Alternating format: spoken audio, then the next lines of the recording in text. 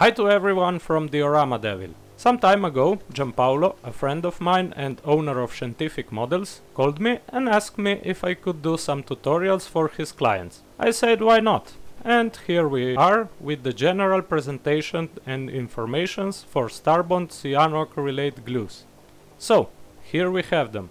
It's not the whole range, but I think that those four are more than enough even for a very demanding user. We have thick, medium, thin and black medium which we will call black from now on. As you figured out, the names mostly refer to the viscosity of the glue. The black one has some rubber particles in it to make a stronger elastic bond and you can glue rubbery parts that the other three doesn't bite at all.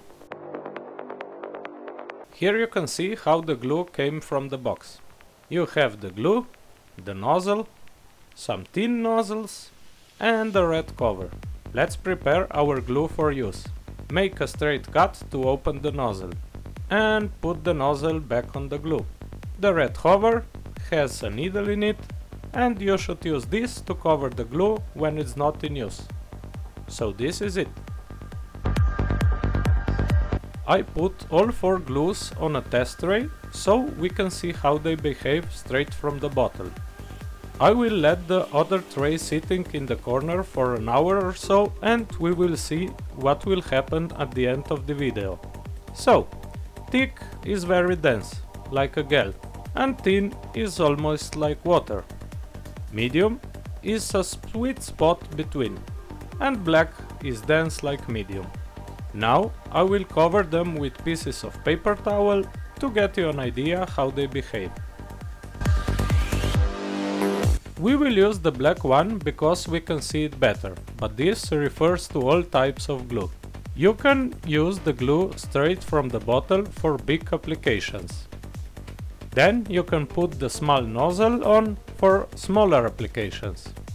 For an even more precise application, you should take the glue from a tray with a special tool. A very important thing. I use simple masking tape for the tray, or even better, you should use the back of a simple sticker that I took from my daughter. This way the glue will remain usable for a very long time. For the application tool, don't use metallic parts like needles or wires. Here you can see my homemade applicators. Those are parts of spruce, extended over a candle and glued to the cocktail stick. When you are done, simply cut away the part with the glue on. When you're done with gluing, you can see how the glue retracts by itself almost immediately. So you can leave your glue like this on your table for days. If you're not so sure, you can cover it with the red cover. I have them like this in the drawer, no fridge storage needed. You can also put your nozzles in acetone when you see that some dried glue is building up. Put everything in acetone close the glue with the original cover. In a few hours they will be like new. You can apply those rules for every CA glue out in the market. Next time we will look at different uses for every specific glue. If you are looking for a top quality professional range of CA glues, I can strongly recommend Starbond. Down in the descriptions you can find the link to Scientific Models shop. They have amazing figures, busts and lot of professional equipment like glues, putties and other stuff. If you use the code DIORAMADEVIL, both D are big, you will have a special 10% discount only for Diorama Devil followers. Oh, I almost forgot our 1 hour test. Well, a good hour and a half passed by and now we will repeat the test with the paper towel. As you can see, the glue is still perfectly workable. Nice!